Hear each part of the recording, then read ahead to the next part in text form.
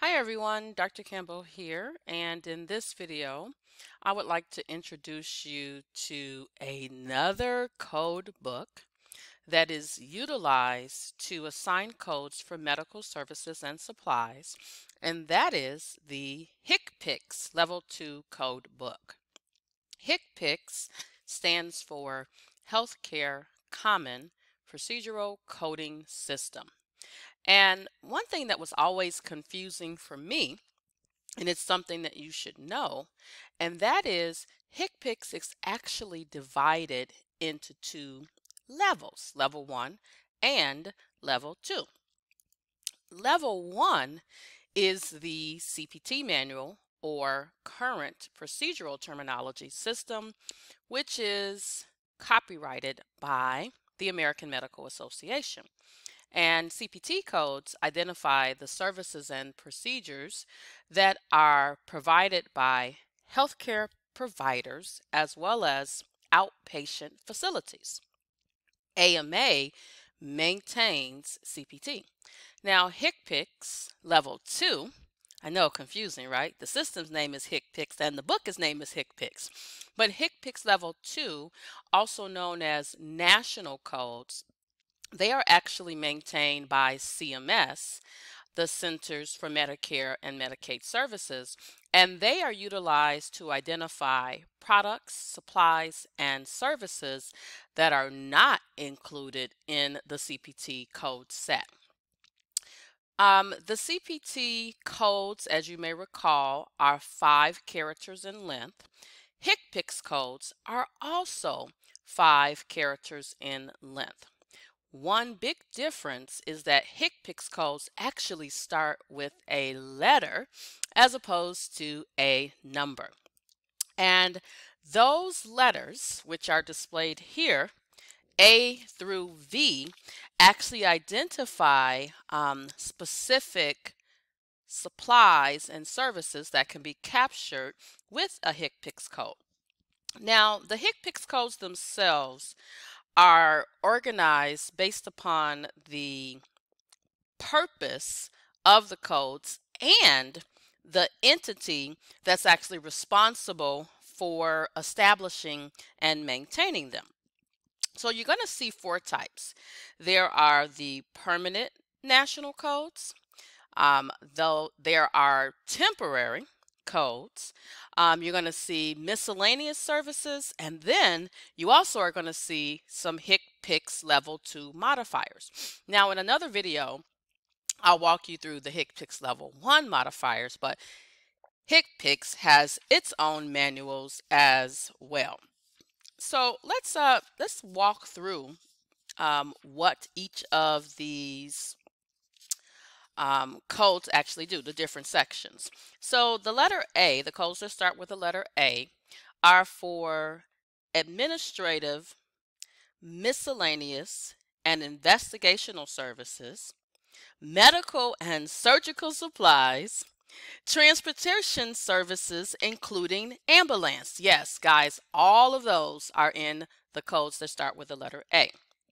So transportation, medical and surgical supplies, and then administrative, miscellaneous, and investigational services.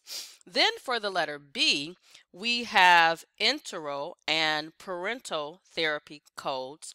And here you'll find a code for things like Ensure, you know, the Ensure that you drink. Well, this is the Ensure one of the codes that's here is the Ensure that can be given to the patient via a G-tube.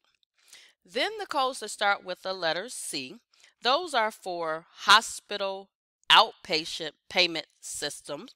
And those are what are known as pass through items related to the outpatient prospective payment system.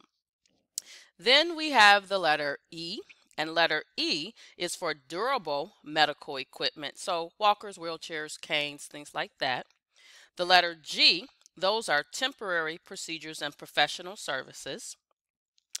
Um, here, you're going to see codes that do not have an option in CPT, but they have an option here in HCPCS. Letter H is for behavioral health and substance abuse treatment services. The letter J has two types of codes. We have uh, drugs other than chemotherapy, and then we also have chemotherapy drugs. The letter K, we have temporary codes that are assigned to DME, Durable Medical Equipment Regional Carriers, and those are under the Medicare Administrative Contractors. The letter L is for orthotics and prosthetic procedures supplies. Then we have the letter M, which is for medical services or other medical services. P, laboratory. The letter Q, temporary codes assigned by CMS. The letter R, diagnostic radiology services. S, temporary codes assigned by private payers. Remember I said that these are organized based on the entity that's responsible uh, for wanting these codes as a part of the system. T, temporary codes that are uh, established by Medicaid. And V, you're going to have vision and hearing services. So now let's take a look at the actual HCPCS manual itself. And so if you have been introduced to the CPT manual, HCPCS looks very similar. So um, I am going to recommend that you always take a look at the table of contents for every code manual that you're looking at because here you'll always know what page something is on because the table of contents will give you that information. Oh, of note, there are not a lot of codes here, so it's not as big as CPT. CPT has about 7,000 codes. So HCPCS, the manual itself, is divided into an alphabetical index and a tabular list. So in my version of the 2020 HCPCS manual, you'll notice that the HCPCS codes, the index start on page number one. There is what's known as a table of drugs, which is on page 45. The modifiers that are used in the HCPCS system and then the actual tabular list. So just like any other code set, the tabular list is where you actually verify the code. So let's take a look at the alphabetical index. And there are some instructions and some anatomical diagrams. I trust that you will explore your manual. Um, as I mentioned in my introduction to CPT video, before taking a national exam and when you're learning coding, the very first step is to learn how to use your manual. And you must take the time to sit down and explore it front to back.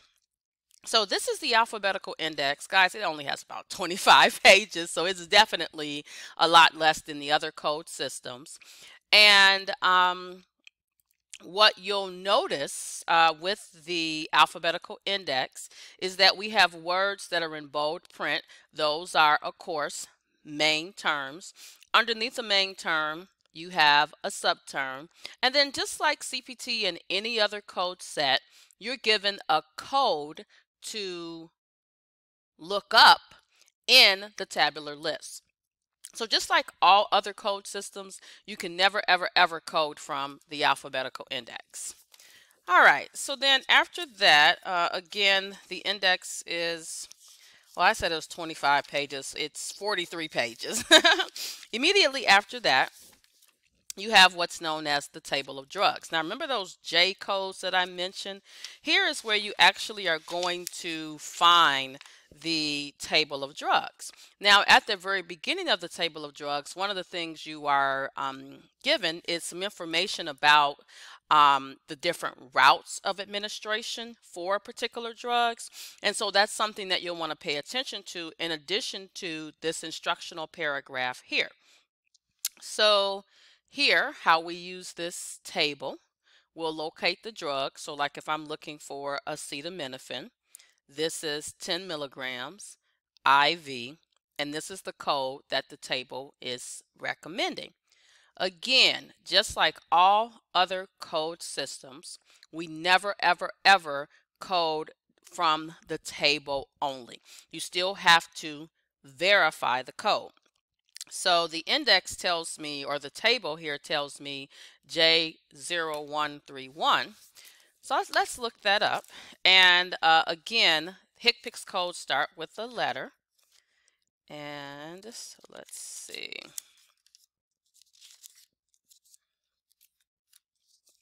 And sometimes you forget, like, what uh, what code was I looking at? So let me, because I actually forgot that quick. J0131. Okay.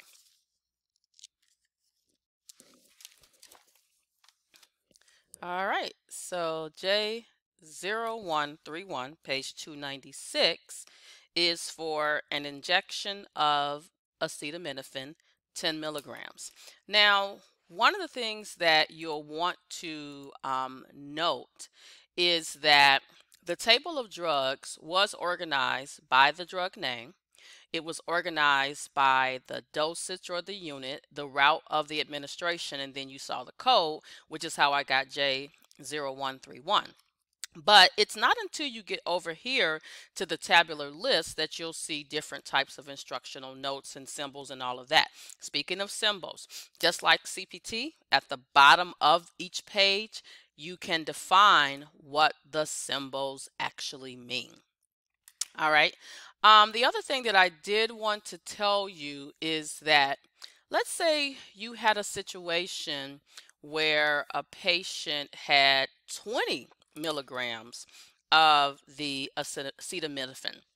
What you would do in that case is report J0131 twice, or if you're using um, on the claim form, you may be able to put uh, number two in the units box to indicate that you want two units of that particular code. All right, let's go back up front. So we just saw the table of drugs and chemicals, or not chemicals, I'm thinking of ICD-10-CM, table of drugs. The next thing you're going to see are the HCPCS level 2 modifiers, and there are a lot of them. Of note, on national exams, you generally don't have a lot of um, HCPCS questions. Um, for example, on the CPC, you may have five or six questions on the CPC exam for HCPCS. So very important to get those five correct um, by just knowing how to use your manual and everything that it has to offer. So here we have the um, HCPCS level two modifiers. Some of these modifiers you actually saw um, in the CPT manual, such as RT and LT. Those are actually um, those are actually um, anatomical modifiers, but they're also HCPCS modifiers. Um, and then after you you leave the modifiers, guys, then you go right into the tabular list and just like the rest of your code manuals, um, along the side of the page, you're going to see um, that the colors are going to change as well as you'll see what's actually on that particular page. So I'll turn past here. So these are the codes that start with the C. Um, and then also in here, guys, in the version that I'm using, which is the AMA version, we also have dental procedures here. All right, guys, so that has been the introduction to the HCPCS 2020 Level 2. Remember, there's two levels, Level 2 manual. Be sure to follow us on our social media channels, Facebook, Twitter, Instagram, LinkedIn, and we also have a YouTube channel. Thank you so much for listening and have a great day.